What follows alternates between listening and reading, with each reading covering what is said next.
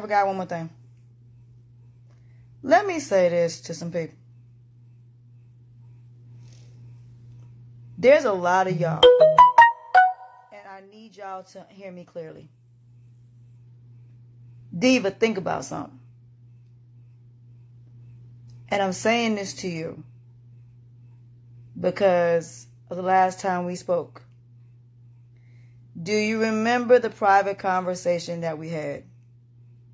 I want you to think about something.